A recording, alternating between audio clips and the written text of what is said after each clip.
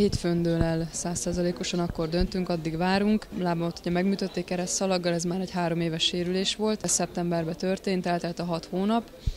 Most vagyok épp a, a hetedik hónapban, a lábam az, az teljesen egészséges, úgyhogy ö,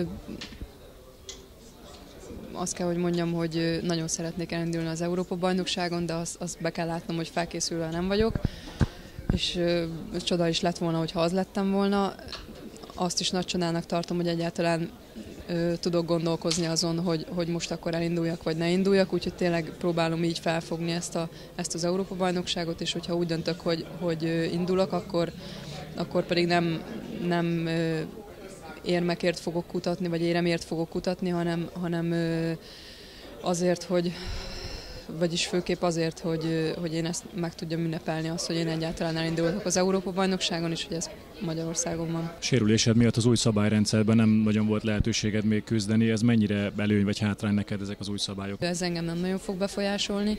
Az előző napi mérésnek gondolom mindenki örül, tehát ez pozitív. Nem nagyon voltam ez a lábra nyúlós, tehát ez a, ez a szabály engem nem nagyon befolyásol. A kétkezes fogásbontás az már kicsit rosszul érintett, de, de próbálok alkalmazkodni, és próbáltunk úgy, úgy edzeni, hogy ezekre már odafigyelve. Szerdán lesz majd a sorsolás, ha amennyiben úgy alakul, hogy hétfőn kimondjátok az igent, hogy indulhatsz, sorsoláson ki az, akit mindenképpen szeretném mondjuk az első néhány fordulóban elkerülni?